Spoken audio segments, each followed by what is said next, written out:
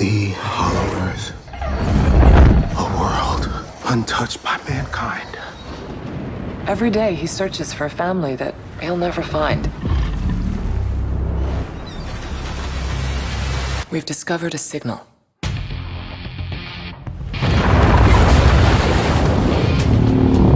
If Godzilla's on the move, he senses a threat coming. It's not natural for Kong to be so alone. We gotta check this out. What could have created this? Oh my god.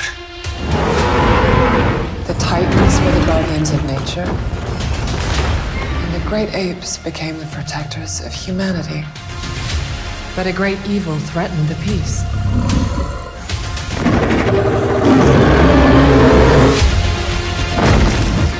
This is something that we have never encountered. Kong can't stop this on his own. He won't be alone. That's a suicide mission. It's not just a signal.